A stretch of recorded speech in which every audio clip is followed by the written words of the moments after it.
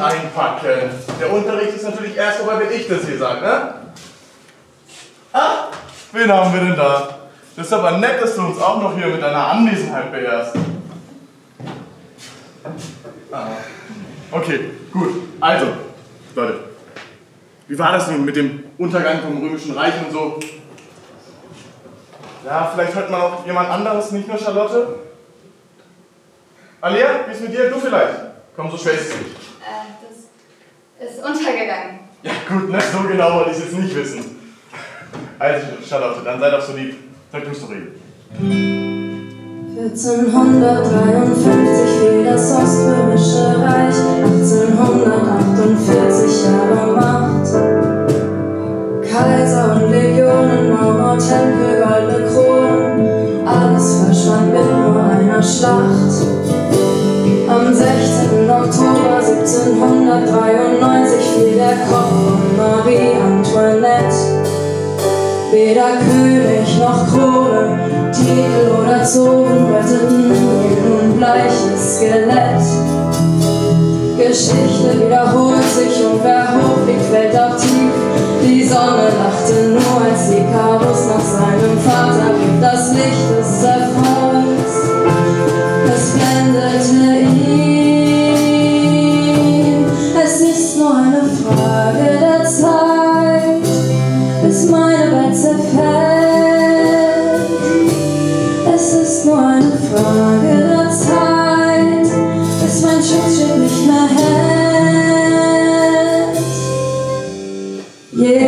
Hochkultur, Azteken oder Maya, war nicht stark genug für diese Welt.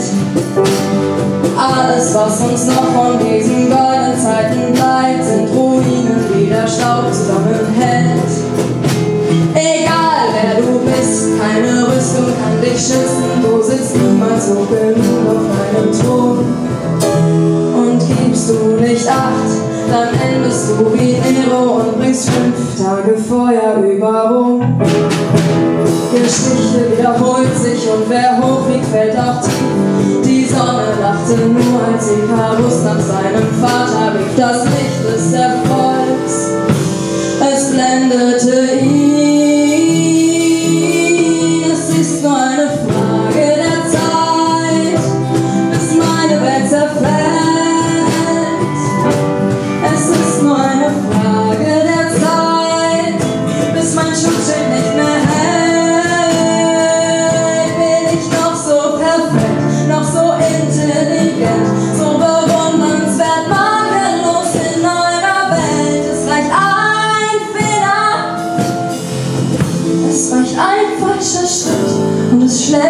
Zurück und ich falle ins Meer.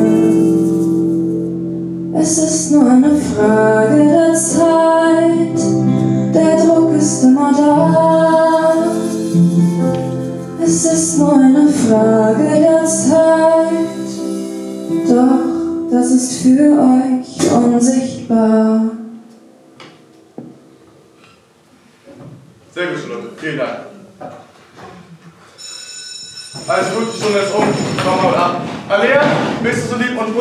Tafel? Und Alexandra? Alexandra, bleibst du noch da? Komm, komm her. Du, sag mal, kannst du mir eigentlich mal erklären, warum du eigentlich ständig zu spät bist? Ich. Ich hab verschlafen und. Nee, mir geht's. Mir geht's, ein, mir geht's einfach richtig scheiße, ja? Es, Ja, ja, ist klar. Ne? Ich habe ja auch oftmals keinen Bock, hier morgens aufzustehen und bin trotzdem pünktlich, mach meinen Scheiß hier und beschwer mich doch auch nicht, oder? Sie haben noch gar keine Ahnung, wie das ist. Seit zwei Jahren geht's mir einfach richtig scheiße und. Sie wissen noch nicht, wie das ist. Ja, ja, ne? Weil du jetzt hier keinen Bock hast oder es dir ein bisschen schlecht geht oder so. Was hoffst du denn? Soll ich dir jetzt eine extra Behandlung dafür geben oder was? Wie stellst du dir das vor? Eine 5 ist jetzt eine 2 oder was? Nee, nee, so läuft es hier nicht, Fräulein. Heute Mittag kommst du gleich mal nachsitzen für die Zeit, die du morgen verpasst hast. Ist das klar, ne?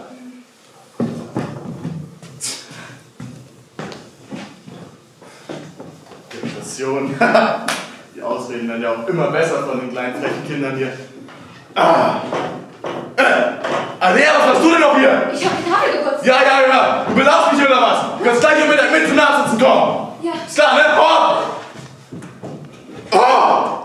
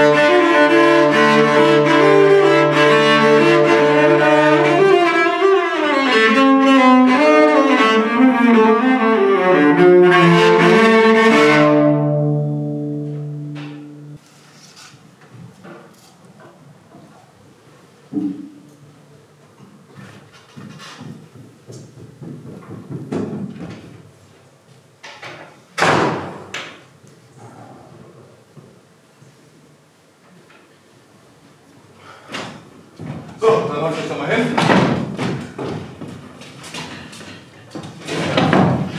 Also, ne, ihr wisst ja, warum ihr hier seid, ihr beiden. Ne? Ich habe euch hier nette Arbeitshelfer mitgebracht. Und äh, die bearbeitet ihr, sag ich mal, bis 15 Uhr, machen wir, oder? Ja, ne? Klingt gut. Und ich komme dann zwischendurch mal vorbei und dann will ich euch geschaffen sehen. Ist gut? Ne? Sonst kommt ihr morgen gleich nochmal. Habt ihr mich verstanden? Gut. Äh, Herr Bachmann, dürfte ich Sie noch kurz mit einer Frage belästigen? Aber, aber klar. Ja, ähm, könnten Sie mir sagen, was in der nächsten Stunde das Thema ist, damit ich mich schon ein klein wenig darauf vorbereiten könnte? Ja, aber natürlich. In der nächsten Stunde, ähm, ja, da werden wir uns mit den religiösen Strömungen im Römischen Reich beschäftigen. Also wenn du willst, kannst du ja da vielleicht einfach schon mal einen Blick reinwerfen. Ja, vielen Dank, Herr Bachwall. Einen schönen Nachmittag noch. Ja, ja, vielen Dank. Hi, Alea. Erinnerst du dich noch an mich? Ja, Charlotte. Ja, genau. Ach, ich ähm, kann mir gar nicht vorstellen, dass du irgendwas getan haben könntest, was dich in diese Situation hier gebracht haben könnte. Ich meine, gab es eine Verwechslung mit Herr Bachball oder hat er, da, hat er bestimmt einen Fehler gemacht? Oder Also- früher, als wir so eng miteinander waren, da war das noch nicht so, dass du irgendwelche Sachen angestellt haben könntest. Also ich Tut mir leid, ich, ich werde ganz nervös von dir. Also, ja, früher war das natürlich noch nicht so, als wir so eng befreundet waren. Charlotte. Ja, tut mir leid. Tut mir leid, ich vermisse das einfach dich, unsere Freundschaft, das an sich. Tut mir leid, ich wollte dich nicht überfordern. Kein Problem, ist, ist in Ordnung. Alex, äh, ihr beide, äh, was, was haltet ihr von Herr Bachball? Oh, ich finde ihn total toll, er ist so ein guter Lehrer. Er kann wirklich, wirklich gut erklären. Und es ist immer so interessant, die Themen. Ich, ich, ich finde Herr Bachball richtig scheiße. Ich habe ihm vorhin erzählt, wie schlecht es mir geht und, und er, er zeigt überhaupt kein Verständnis. Ja, das, das habe ich mitbekommen. Also ich habe euch nicht belauscht. So war das nicht. Ich, ich habe die Tafel gewischt. Ich habe nichts getan. Äh, aber ich habe das auch gehört und ich fand das auch total daneben. Du hast mir so leid getan. Ja, aber irgendwo bin ich es auch gewohnt, dass Erwachsene einen nie ernst nehmen. Nicht mal meine Eltern glauben mir, wenn ich ihnen sage, dass es mir schlecht geht. Es ist ja nur eine Ausrede für, keine Ahnung, meine schlechten Noten oder ich bin einfach nur faul. Das ist ja schrecklich. Ja, ja, das kann ich total gut nachvollziehen, wenn einen die Eltern nicht verstehen. Oh, du hast auch Probleme mit deinen Eltern? Das wusste ich gar nicht. Du hast doch so gute Noten. Ja, das war früher auch noch nicht ganz so schlimm, aber in letzter Zeit erwarten sie einfach sehr viel von mir und alles, was nicht perfekt ist, ist nicht gut genug und es ist einfach sehr anstrengend und ähm, Ja. außerdem, Ja. egal. Ach, das klingt blöd. Ja. Alex, ist schon krass, dass deine Eltern nicht zu dir halten. Hast du überhaupt jemanden zum Reden? Ich bin halt viel allein. Das muss ja nicht so bleiben. Also in Zukunft kannst du auch wirklich zu mir kommen. Und ich bin gerne, ich dir gerne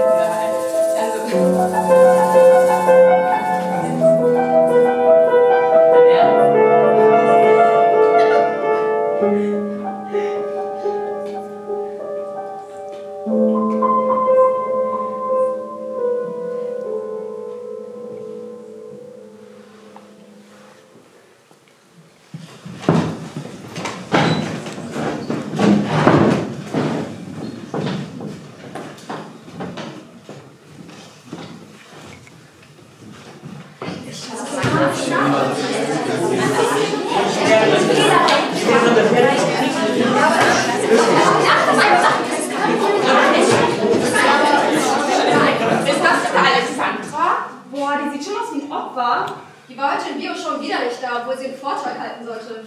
Ich wette, sie ist einfach nur zu dumm und kommt deswegen nicht in den Unterricht. ich meine, wer ist so blöd und ist nie da im Unterricht? Das macht nicht mal Sinn. Ja, eine Geschichte war sie halt auch schon wieder zu spät. Hey Alexandra! Ja? Verschläfst du eigentlich immer oder warum kommst du immer zu spät?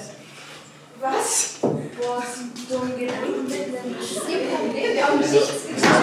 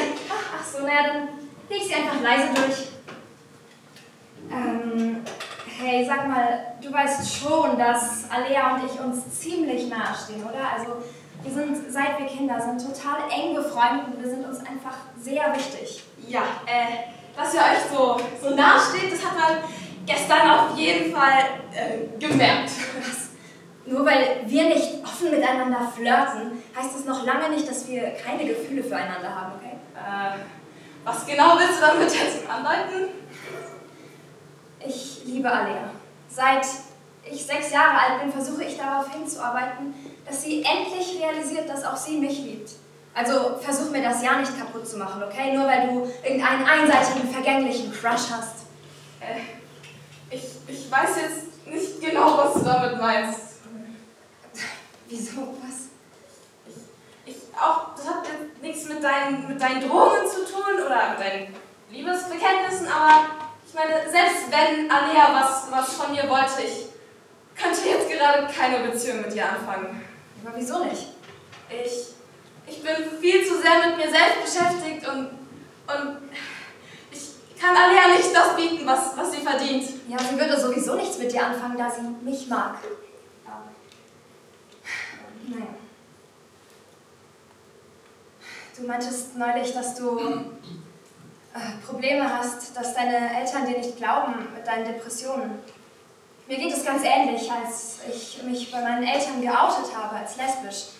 Da wollten sie das nicht akzeptieren und jetzt denken sie, dass es eine Phase ist. Das, das tut mir wirklich leid für dich. Ich, ich verstehe auch überhaupt nicht, warum manche Leute denken, sie wüssten besser als, als die Person selbst, was in deren Köpfen vorgeht. Ja, also hast du auch Erfahrungen damit? Ja, das, das Ganze ist ungefähr so.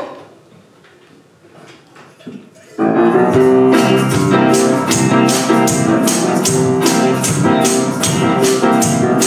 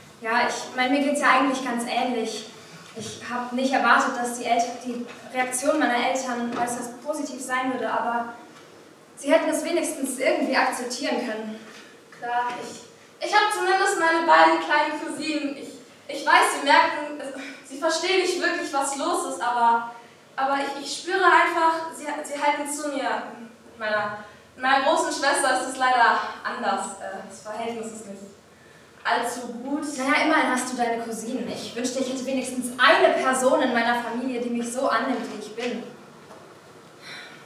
Oh, naja, ich glaube, ich muss dann jetzt auch, weil Französisch geht ja gleich los. Ich will nicht zu spät kommen. Also, tschüss. Tschüss.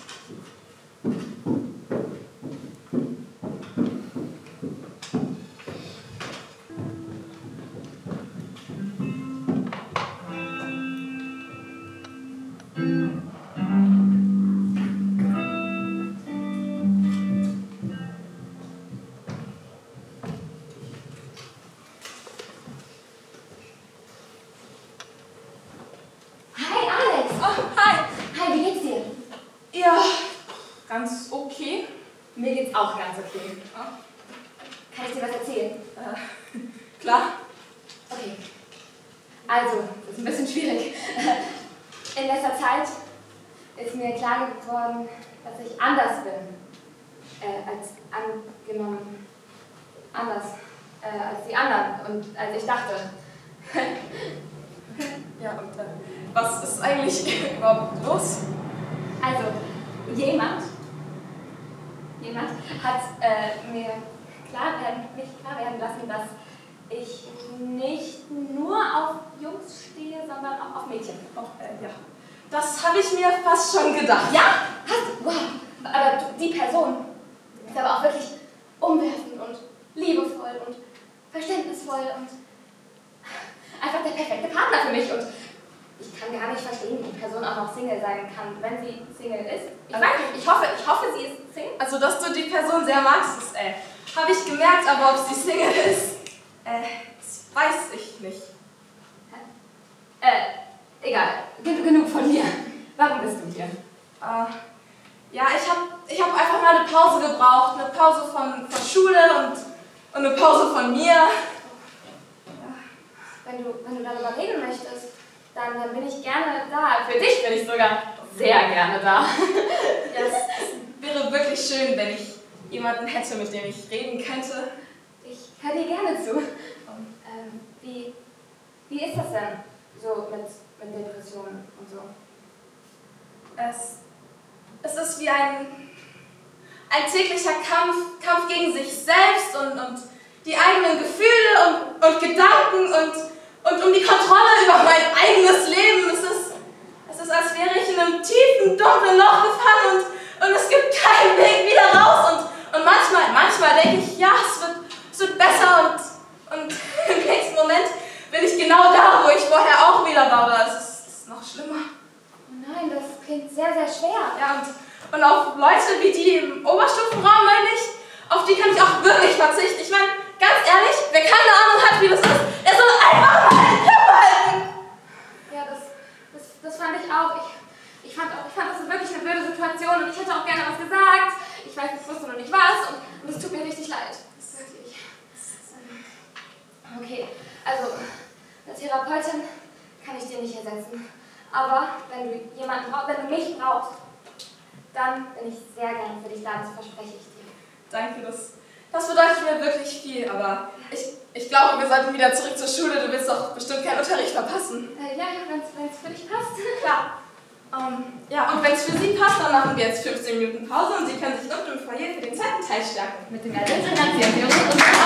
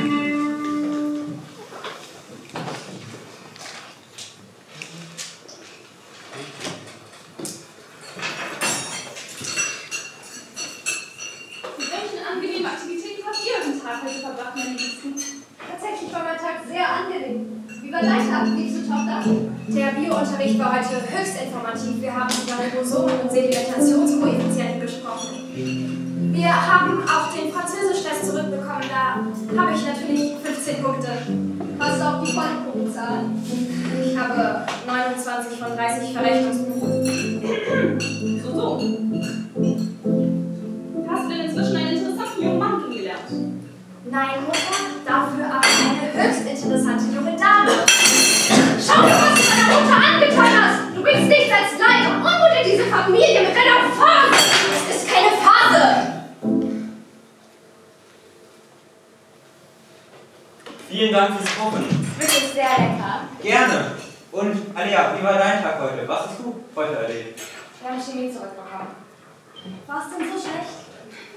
Punkte. Also, das ist doch gar nicht schlecht. Ja, natürlich ist es nicht schlecht, aber es ist halt auch nicht sonderlich gut. Und ich wäre gerne mal sehr gut. Ich habe mich wirklich angestrengt, aber ich war irgendwie nicht außergewöhnlich und wie immer einfach nur normal begabt. Wie die Besten der Klasse.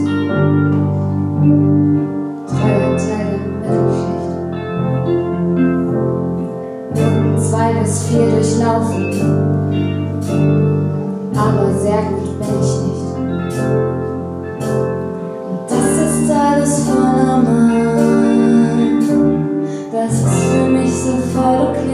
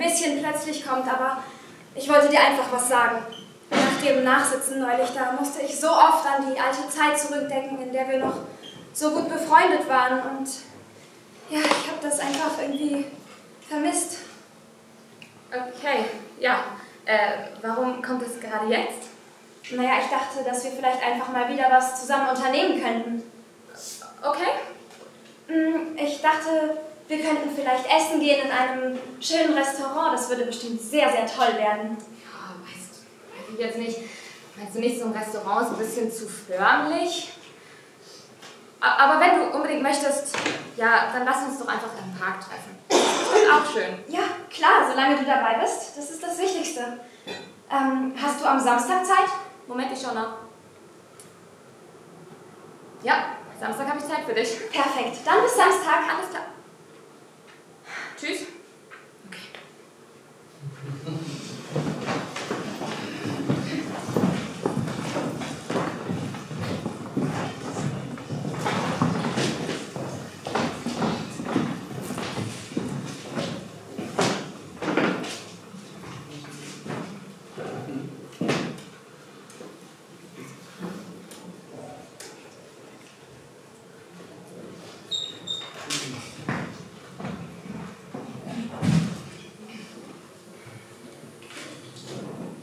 Hi.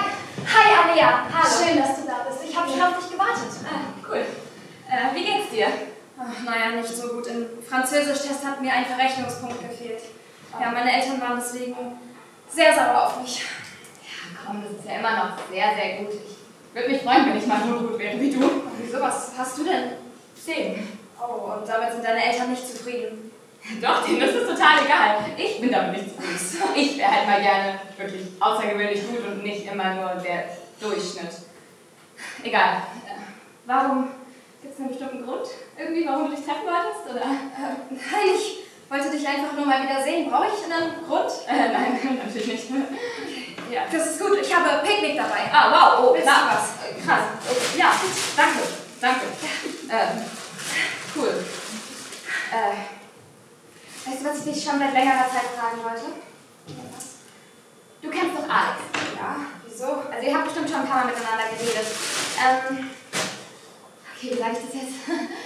Alex, ich glaube, ich bin verliebt. was? Äh, und wir haben da noch nicht drüber gesprochen. Und, also, die Antwort war ein bisschen vage, aber ich habe, glaube ich, trotzdem gute Chancen. Deswegen wollte ich fragen, weißt du vielleicht was genaueres? Äh, nein, also als wir geredet haben, hat Alex nichts erwähnt. Sicher? Also habt ihr genau über das Thema gesprochen oder habt ihr nur so generell so geredet? Doch, doch, wir haben schon über das Thema gesprochen, aber Alex meinte, sie steht im Moment auf niemanden. Oh. Oh, das.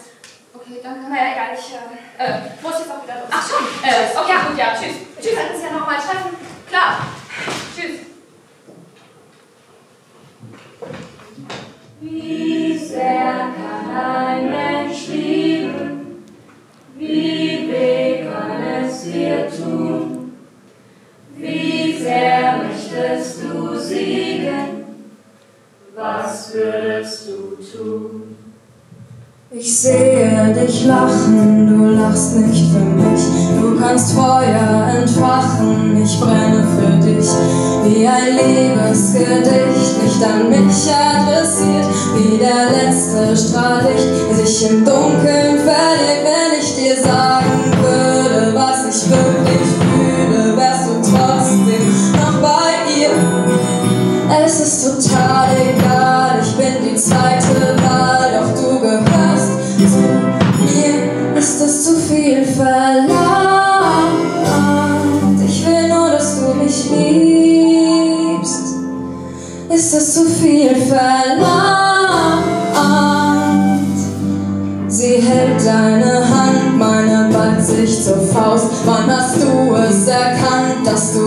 gar nicht brauchst. Und die Eifersucht brennt sich ein Loch in mein Herz. Dieser Kurs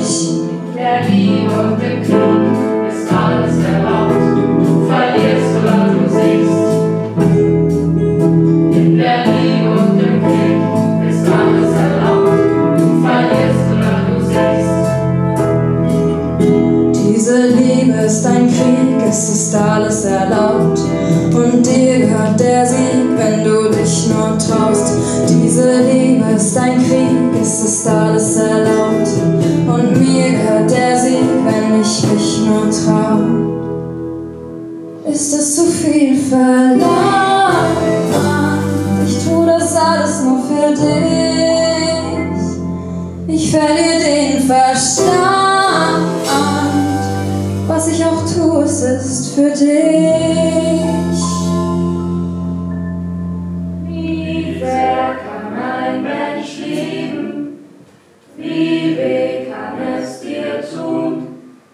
Wie sehr möchtest du siegen? Was würdest du tun? Was würdest du tun? Was würdest du tun? Es ist nur eine Frage der Zeit.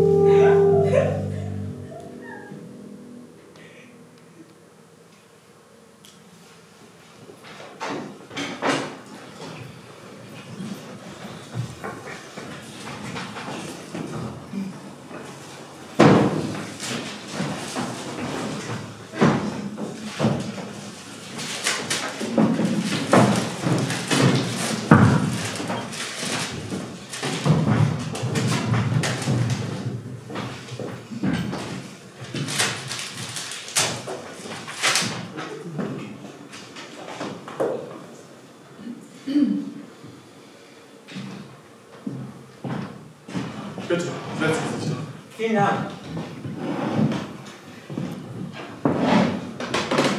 Hallo, Herr Bachwall, oder darf ich dich auch einfach Hans-Joachim nennen? Also, ich bin der Martin. Äh, ja, hallo. Äh, Ich nehme mal an, dass das Teil einer ganz normalen Befragung ist. Aber nicht doch. Bei dir mache ich eine Ausnahme. Also, wie ich mitbekommen habe, warst du Alexandras Klassenlehrer. Stimmt das? Ja, ja, das ist richtig. Ich helfe natürlich gerne, wo ich kann.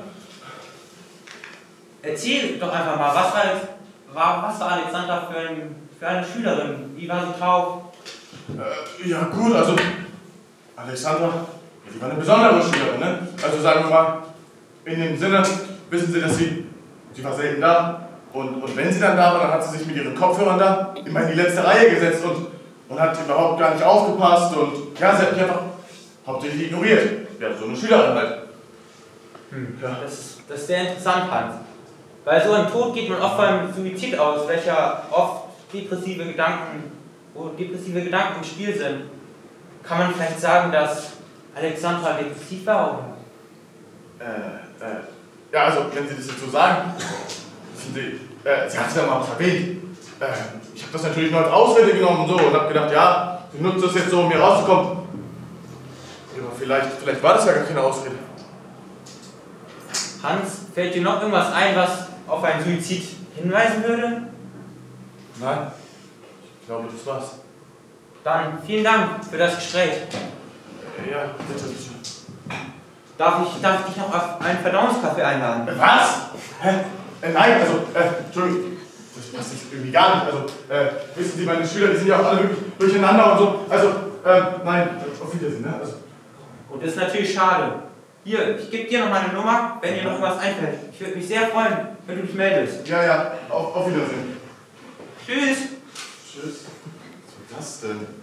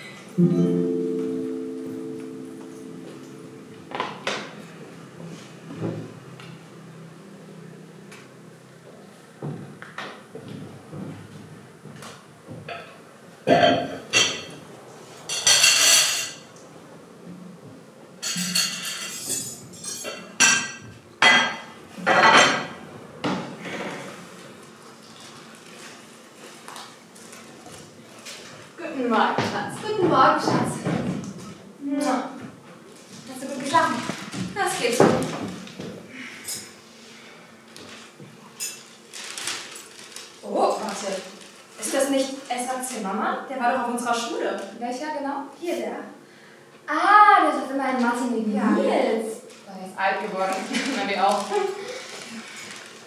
Oh, hier steht, er hat ein Buch veröffentlicht. Oh, auch? Aha. Morgen in Berthas Buchladen ist Autogrammstunde. Willst du dahin gehen? Da ist doch äh, nichts, was du vorhast, oder? Heißt das nicht Signierstunde? Also, hier steht Autogrammstunde. Ich google. Also gehst du hin oder nicht? Ja, ja, wenn ich Zeit habe. Ciao. Signierstunde.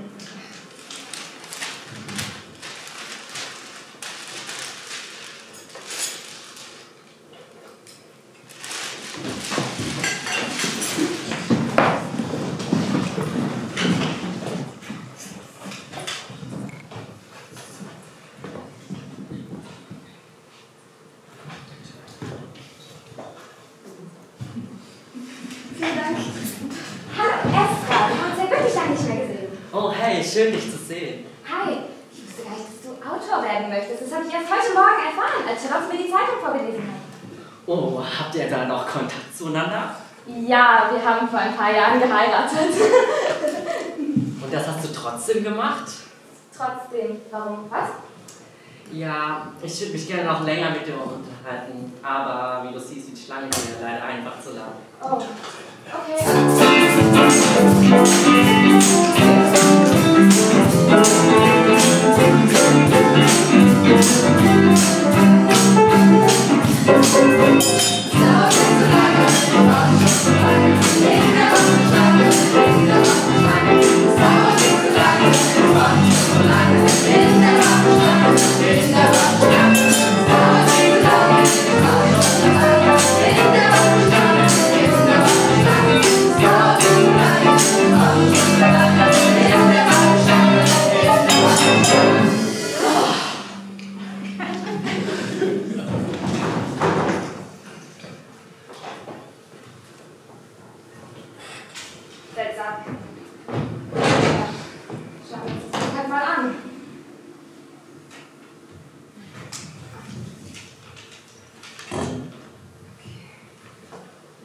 Mein ganzes Leben lang war ich immer dieser leise Schüler hinten in der Ecke, den niemand bemerkt hat.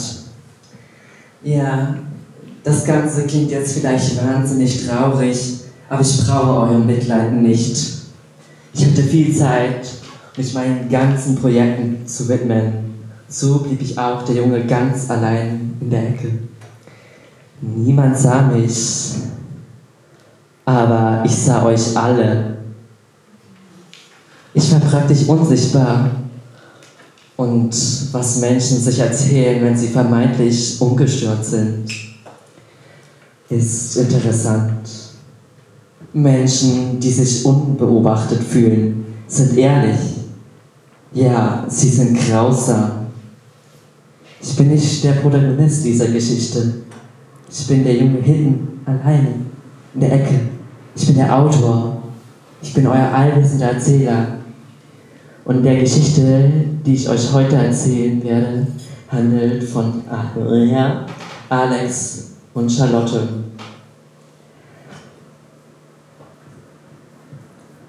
Ich sah, wie Alea und Alex sich näher kamen. Charlotte wahnhafter und obsessiver wurde. Alex immer depressiver und immer kranker wurde. Alex und Alea sich anfreundeten. Alea sich endlich ihre Gefühle für Alex klar wurde. Wie Charlotte sich auch darüber klar wurde, was Alea für Alex fühlt wie Charlotte immer eifersüchtiger wurde und wie Charlotte letzten Endes die Kontrolle verlor. Schon als kleiner Junge haben mich die ganzen Sternbilder fasziniert und angezogen. Und schnell war ich der Astrologie verfallen. Für mein ganz privates Projekt stellte ich, ich hatte natürlich die Erlaubnis der Schulleitung, meine Kamera auf, um den Himmel zu beobachten und analysieren zu können. Abgesehen von den Sternbildern natürlich sah ich kiffende Zehnklässler, dem Alkoholismus verfallenen Chemielehrer, der nicht nur dem Alkohol, sondern auch anderen, äh, nun ja, Chemikalien verfallen war, die ich hier nicht alle aufzählen werde. Ja, ich habe einiges gesehen, davon manches schockierender als anderes. Ich könnte viele Geschichten erzählen, Heute erzähle ich euch eine davon. Es ist die Geschichte von drei Individuen, von Liebe, von Hass, Eifersucht, Freundschaft, Kummer, Neid und Leid. Wir schreiben den 12. März 2023. Alex jemand mit nun ja hm, einigen Problemen ist auf dem Dach Sie braucht eigentlich einfach Zeit für sich, muss kurz durchatmen. Eigentlich muss er kurz Pause machen, sich erholen vom Leben, von allem. Nun, diese Pause wird sie nie machen können. Charlotte, ein Mädchen mit, nun ja, ebenfalls einigen Problemen. Und wie soll ich sagen, leidenschaftliche Eifersucht. Alle ein, könnte man sagen, ganz normales, durchschnittliches Mädchen? Nein, ganz sicher nicht. Nun ja, das ist ein Mädchen mit einigen Problemen. Am 12. März spitzten sich die Dinge zu. Alex und Charlotte befinden sich auf dem Schuldach. 13. März Alex liegt tot am Boden. Selbstmord, sagt man. 11. März, der Letzte meiner Kamera stehen Charlotte und Alex. Sie unterhalten sich. Zuerst ganz normal oder nicht normal. Irgendwas stimmt nicht. Die Unterhaltung wird hitziger. Charlotte trägt Alex ans Geländer. Selbst in der Dunkelheit sieht man den Hass in Charlottes Gesicht. Ganz klar. Ein Schritt weiter, ein Schritt näher, ein letzter Schritt und jetzt ist alles vorbei.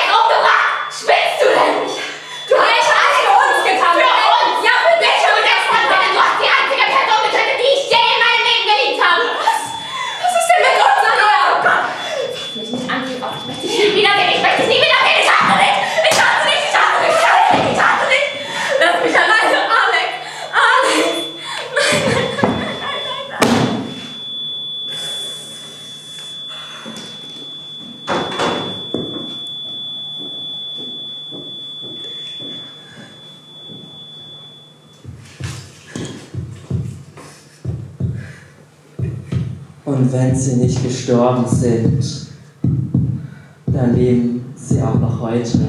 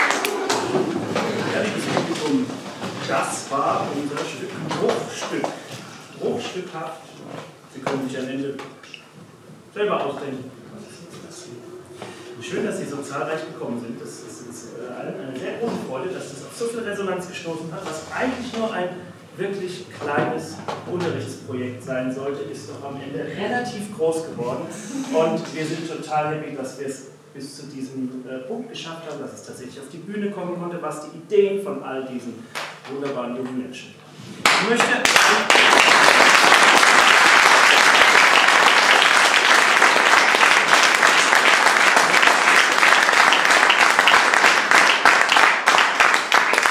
Ich freue mich heute Abend besonders über einen Menschen, der früher auch mal in der Position hier war, Frau Noack. Als ehemalige Schülerin des Tatten ist es mir eine besondere Freude, Sie heute Abend zu begrüßen, weil Sie haben uns ein Geschenk gemacht. Sie haben nämlich äh, einen Flügel als Dauerleihgabe äh, uns an die Schule gestiftet, der heute Abend eingeweiht wurde. Direkt vor zwei Wochen kam er an und wurde jetzt direkt, hat er seine Feuertaufe äh, bestanden. Der hat schon 100 Jahre auf dem Buckel, der wird hier lange Zeit seine guten Dienste im Tatten leisten und wir sind Ihnen so dankbar, weil Sie etwas getan haben, was ähm, Herzensmenschen tun, nämlich äh, Menschen, die einer Sache, einer Institution verbunden sind, über viele, viele Jahre hinweg. Und dafür danken wir Ihnen ganz herzlich. Und ich würde mir ja wünschen, dass wir ihr mal in 50 Jahren zurückdenken an eure Zeit.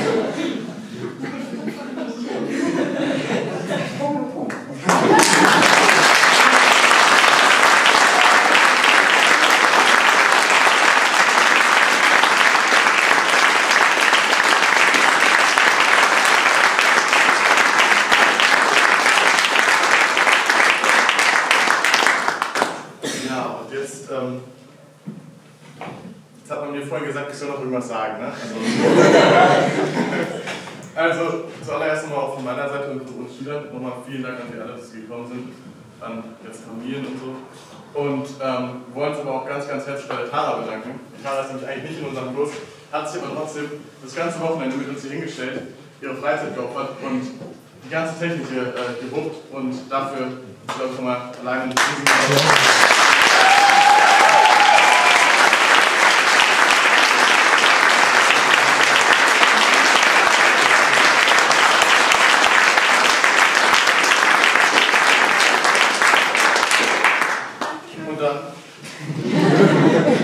dir, Victoria.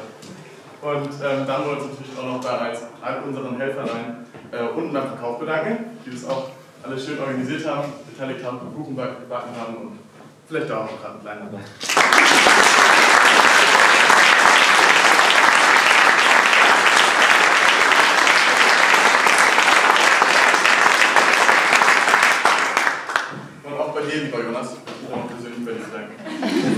ganz spontan hier. Ich habe, ich glaub, habe ich dich am Freitag oder am Samstag jetzt angerufen? Gestern, gestern. Gestern habe ich gefragt, ob du nicht spontan Zeit hast, das für uns abzufilmen. Und vielen, vielen Dank. Ich glaube, das ist super geworden. Ähm, bitte entschuldigt, dass er hier vor euch rumgesprungen ist. Ja, es tut mir sehr leid. Ich wollte niemandem absichtlich das Blickfeld. Ja.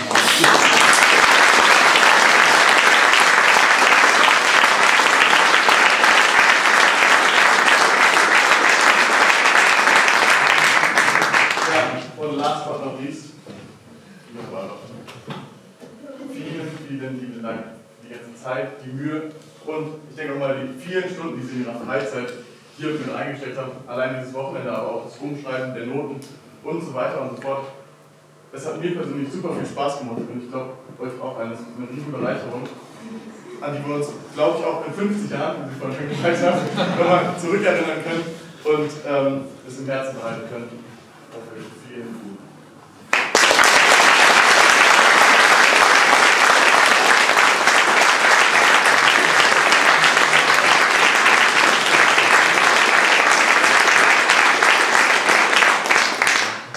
Ja, und jetzt bleibt mir nichts weiter zu sagen, als Ihnen einen schönen Abend zu wünschen. Und wenn Sie noch Lust haben, ich weiß nicht, ob wir noch was unten haben, was es noch zur Speise gibt, dann ähm, können Sie da gerne zuschlagen. Da steht auch noch, da steht noch eine kleine Kasse, wo wir uns über Spenden für unseren Abiball freuen.